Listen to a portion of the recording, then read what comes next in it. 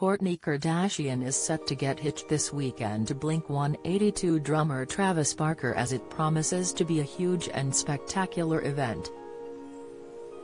It appears to be the third time that the loved-up pair have walked down the aisle, following a drunken wedding in Las Vegas and an intimate ceremony in Santa Barbara. This time though the lovebirds invited their entire families and pals along to watch them say I do in spectacular style in the Italian town of Portofino. For their Italian wedding, the couple chose an entire castle with the Blink-182 star, dating back to the 16th century. The pair are expected to say their vows on Sunday as the finishing touches were previously pictured being put up in aerial shots ahead of the major event. In the exciting pictures, a tarpaulin can clearly be seen covering the ground as staff are dotted around working on what is expected to be a spectacular event. What looks like an entertainment booth is already in place as well as romantic fairy lights. The castle offers stunning views of the sea from where the ceremony is hinted to be held. Aerial shots also suggest an intimate garden area is being set up as love seats and chairs were pictured arriving. It appears the couple will be saying their vows outdoors in the gorgeous Italian sunshine as an array of plants and furniture is seen scattered around as staff quickly make the finishing touches. The Daily Mail reports that for the duration of the wedding, the perimeter of the castle will be closed off to the public, to ensure prying eyes are not cause for concern. Signs have been seen to say the steep path leading to Castello Brown from Portofino Harbour will be closed on Sunday and reopened on Monday.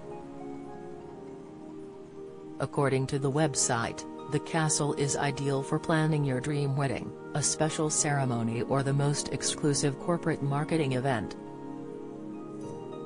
It states that its origins date back to the Middle Ages when the Genoese erected it, in a dominant position on the sea to defend the Gulf of Portofino. Castello Brown is a venue full of history, as it dates back as far as the Roman times when it was built to aid military defense. It went on to be used in military battles from the 13th to 19th centuries. It's also previously had links to Hollywood, having served as a location to help film the movie The Enchanted April back in the 90s. During the weekend in Italy ahead of the wedding, the Kardashians were seen living it up on a private yacht as they counted down the hours until their big day.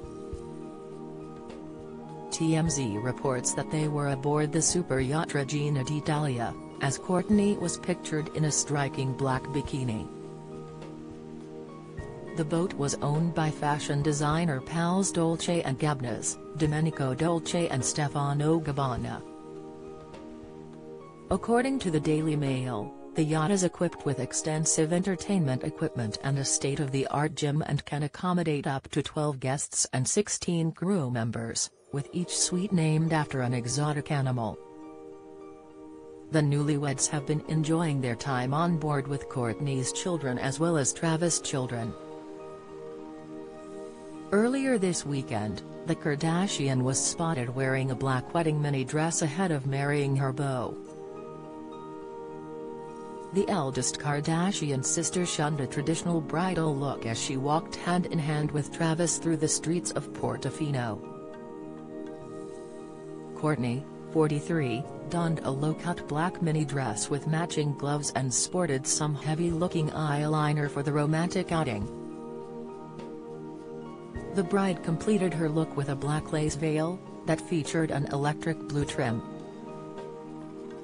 Not to be outdone, groom Travis also cut a bold figure in black robes and shades as he lead his wife to their destination. The celebration is expected to last for four days, with another reception thought to be planned to take place in L. A. in the not-too-distant future.